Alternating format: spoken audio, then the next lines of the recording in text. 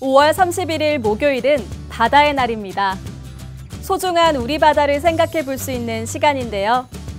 6월 3일까지는 바다의 날 주간이 운영됩니다. 전국 관련 기관에서 바다와 관련된 많은 행사가 개최되니까요. 참여해 보시면 좋겠습니다. 바다 정보입니다.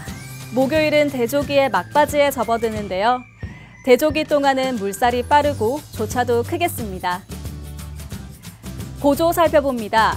대조기로 마산과 성산포는 주의가 필요합니다. 마산은 최고 182cm, 성산포는 234cm까지 수위가 오르겠습니다.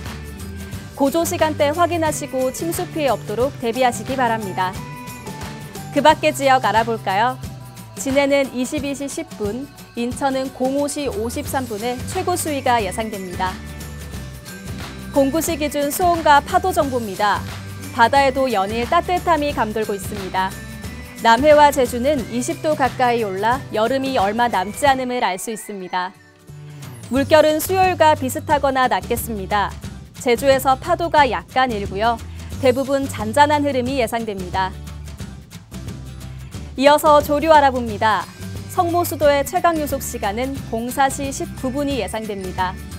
이때 조류는 반시계 방향으로 회전하고요. 물결은 동북동 방향의 창조류입니다. 항만해양 지수입니다. 목요일 인천항의 내해는 관심 단계로 물결이 잔잔합니다. 다만 외해로 갈수록 유속이 빨라져 경계 단계를 보이겠습니다. 울산항 부근은 관심 단계로 해상 상태가 좋을 것으로 보입니다. 끝으로 항행 통보 전해드립니다.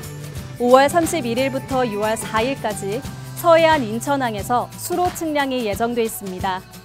인천항을 입출항하는 선박은 조사 선박에 주의하시기 바랍니다. 지금까지 내일의 바다 정보였습니다.